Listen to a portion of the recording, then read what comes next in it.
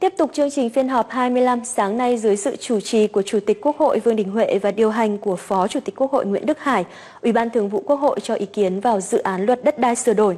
Liên quan đến nội dung này, Chủ tịch Quốc hội Vương Đình Huệ đề nghị chính phủ cần tập trung dốc toàn lực để hoàn thiện dự luật sao cho đồng bộ, tạo sự thống nhất để phát triển đất nước tế thì cũng rất là dẫn chứng từ khảo sát thực tiễn thi hành pháp luật về đất đai gắn với hoạt động đầu tư kinh doanh. Một số thành viên Ủy ban Thường vụ Quốc hội cho biết, chính sách pháp luật về đất đai vẫn còn có những hạn chế bất cập.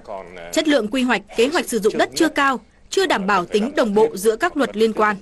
Hiện nay khoản 3 điều 27 đang nói rằng là các giao dịch hợp đồng mà liên quan đến quyền sử dụng đất thì thực hiện công chứng chứng thực theo quy định của pháp luật về công chứng chứng thực và pháp luật khác có liên quan thì cái này là khác với cả luật đất đai hiện hành. Và cũng báo cáo đồng chí là luật công chứng là luật thủ tục, luật hình thức. Không quy định về những cái hợp đồng giao dịch nào phải công chứng, mà hợp đồng giao dịch nào phải công chứng, đấy là vấn đề của luật chuyên ngành. Hiện nay toàn bộ hệ thống pháp luật chúng ta tiếp cận theo hướng đó. Nếu mà luật đất đai lại quy định như thế này thì nó khác hẳn. Và nếu mà thế này thì phải sửa luật công chứng.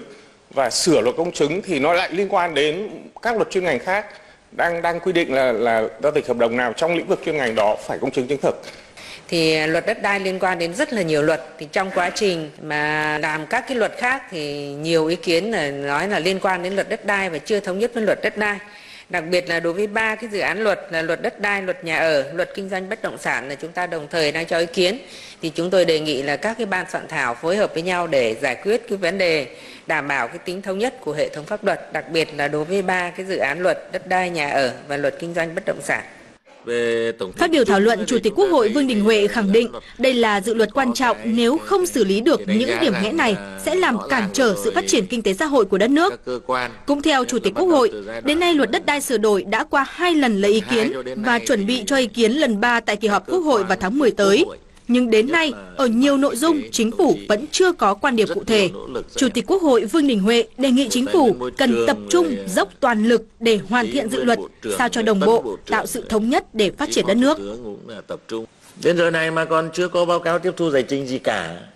Cũng chưa rõ ý kiến quan điểm chính thống của chính phủ về vấn đề đấy thế nào. Đây là ý kiến mà trong quá trình thảo luận làm việc với cơ quan soạn thảo thôi. Đúng không ạ? Thì tôi thấy ờ, rất là lo lắng về cái việc này.